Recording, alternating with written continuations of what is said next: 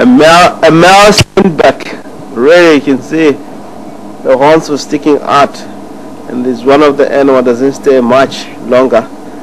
Uh, it's the smallest uh, antelope you find in the area. Really sure. I leave him. He's going around with a vehicle. It's one of the animal. Of course, we every day we get to see it around. It's one of monogamous species, very, very, very loyal to each other. Once selected partner, it's become partner for life, which is very good life. Really for sure. It's a male becomes more territorial. It cover area like 300 square meters of an area. And one of the animal, of course, it doesn't uh, really, really depend on water or really have to go every day to, drink water. It can collect dew on top of the grass. It will be fine for it. It can stay longer without going to the water holes.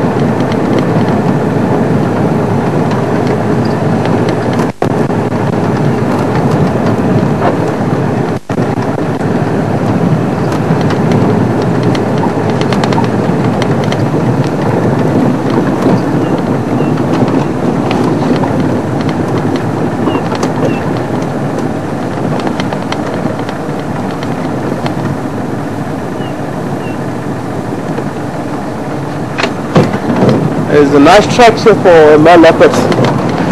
Let us follow up and see. It looks like a very good, very fresh tracks.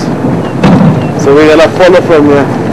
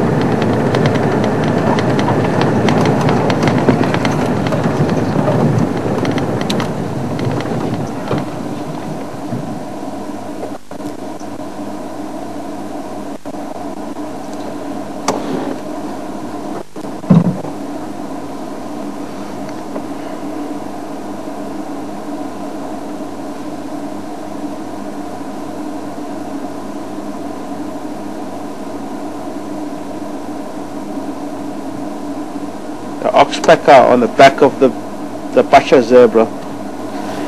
Zebra are a lot more happy this season because it's a lot more open. They can see very far. Now and then we have seen the same dozen of the zebra in this area. They tend to hang around here. In summer it will be a lot more difficult to see zebra around here because it will be a lot more thick and really for sure they move towards east or southeast is the area called uh, Cheetah Plain area. It's big open plain is where you normally find them.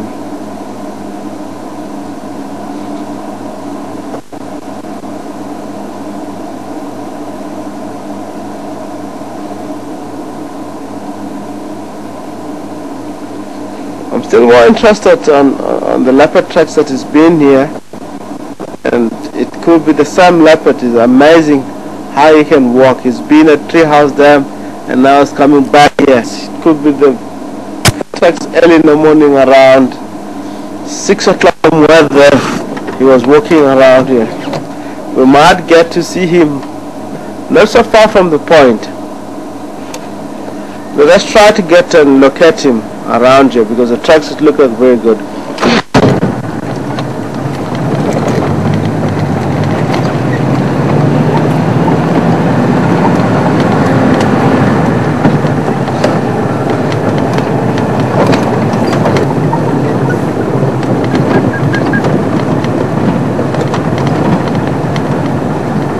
Very fresh tracks look like Motoda Ingwe on Poland Road heading north.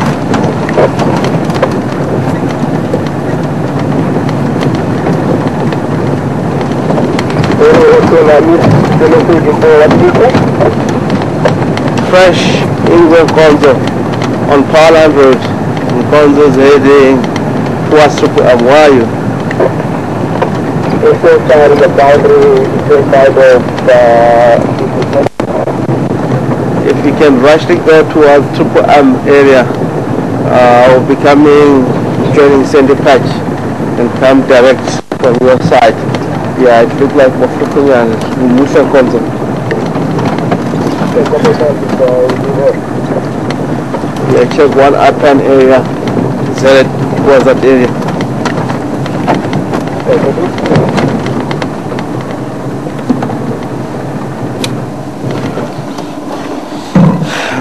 Moving to tra- uh, leopard tracks and is cutting straight towards one of the cut line and we come across with this tree elephant bull here. Very amazing. Seems stay around one point. We've seen the big elephant yesterday, not so far from the area. He's still around the same spot. It looks like the area is very good on supporting this elephant. Especially you can see what is chowing there is from the red tree. There's quite a lot of them, even acacia in the area. As I mentioned two days back, you know, acacia on itself, it got cambium layer that boasts a lot of nutrition or moisture. So really by this time of the year, because the grass is very, very, very dry, they keep themselves busy chowing on the acacia uh, quite a lot and seeking the prop, I mean the cambium layer in between the tree. As you can see, even where the elephant is now, trying to get grass that is being covered by thorn. For sure it will be very difficult because it was umbrelled by the thorn. It was very lot more difficult for anything to access that grass. But because elephant has got track that can push the trees away and go for the grass that is being covered by the thorn for long. So that is one of the signs, really for sure, food are becoming more scarce around the area.